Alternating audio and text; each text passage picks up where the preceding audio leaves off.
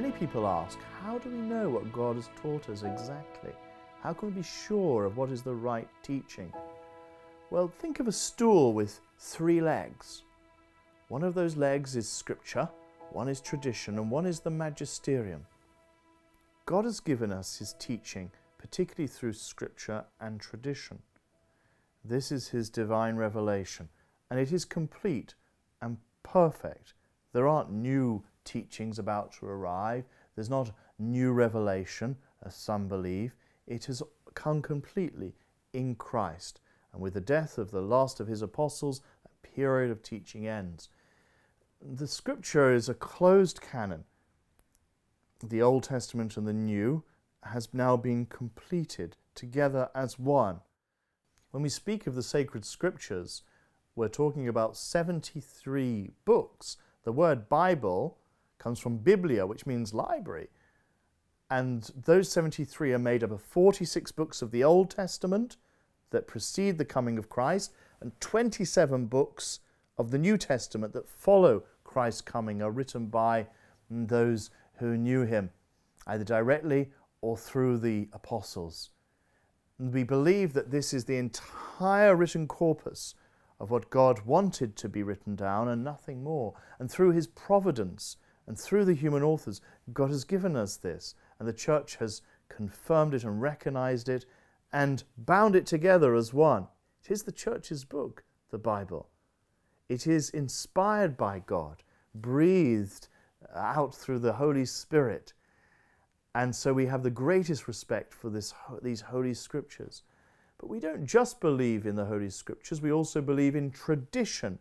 St. Paul says, Hold fast to everything I've taught you, either by word of mouth or by letter.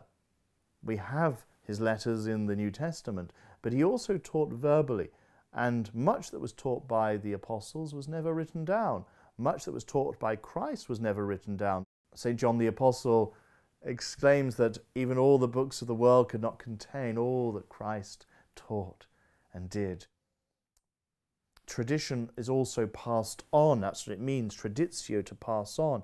And it was everything uh, that was not written down that was also passed on alongside. Remember, most Christians believed in the early period upon the verbal teaching of the apostles and the scriptures as we have them today as one were only brought together and known many, many generations later. The verbal teaching is very important and it also finds its expression in the worship of the church and in the way of interpreting the texts that were passed on. We know from the early fathers of the church, that generation after the apostles, that there was a way of interpreting the scriptures that was coming from Christ. That was tradition. But the third part of the stool, the third leg, is the magisterium. You can't take away that leg, otherwise, scripture and tradition would fall down. The magisterium is the living voice of the church. Christ said that he would send the Holy Spirit to the apostles so that they would teach the complete truth, and the Holy Spirit will bring to their minds all that he had taught them. And we believe this gift of teaching, of passing on the faith, with certainty and with confidence endures in the church, passed on by the apostles. We believe this gift of teaching with certainty through time has endured, so that when a pope and the bishops around him teach on a matter of faith or morals and define it for the entire body of believing Christians, we know it is the living voice of Christ that is certain.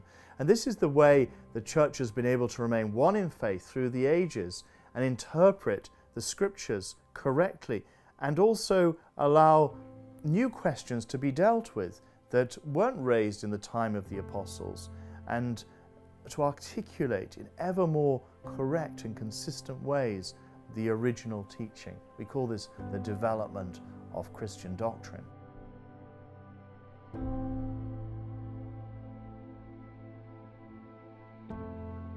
This large oil painting of St Matthew writing his Gospel is in the chapel of San Luigi de Francese in Rome and it is one of three canvases by Caravaggio to remain in that church.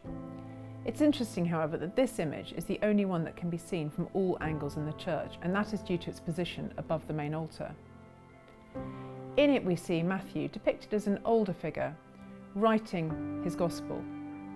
He holds the stylus as if in mid flow.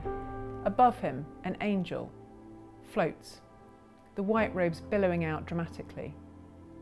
I like the way that the angel is shown with his hands as if he's counting off things to tell the evangelist. Caravaggio here seems to be emphasising the divine relationship between the pair. The angel informs Matthew, but Matthew also has his own agency. He writes. It is a combination of the human and the divine that we see in his gospel. Caravaggio was a master of exploiting light and dark, and we see that here to great effect with the billowing draperies surrounding the angel and the rather poignant image of the saint below, with his balding head, yet still with looking significant with his philosopher's robes, but his bare feet humble.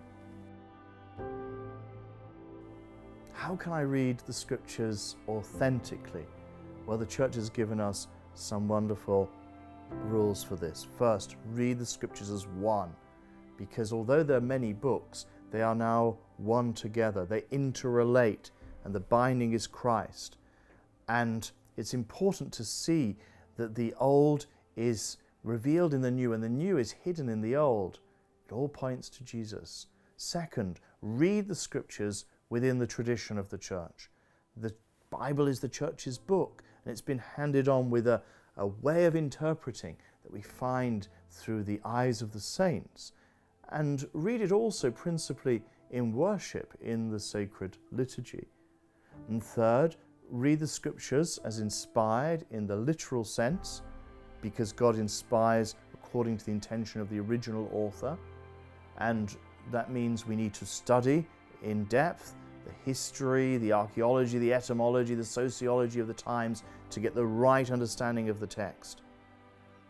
But also read the scriptures spiritually in the spiritual sense which tell us that the people and the events and the places have meanings also intended by God, who is the primary author of Scripture. And we're taught things, even in the Old Testament, about Christ and the church and our lives as Christians and glory that are not immediately obvious according to the literal meaning, but God has written into them meanings for us, even here and even now. St. Jerome says, Ignorance of Scripture is ignorance of Christ. So we're really called to know and love the scriptures, but always with tradition and with the living voice of the magisterium.